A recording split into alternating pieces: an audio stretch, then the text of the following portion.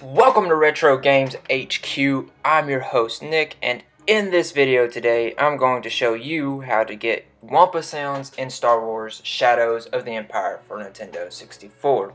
The first thing that you need to do is name a file R Testers Rock with a space between R Testers and Testers Rock. Once you do that, anytime that you access a menu or are on a menu, you will hear Wampa sounds. That's all for this video.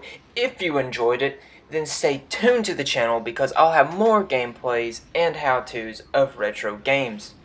Check the description below. I will have a link to Star Wars Shadows of the Empire on Amazon if you are interested in adding it to your collection.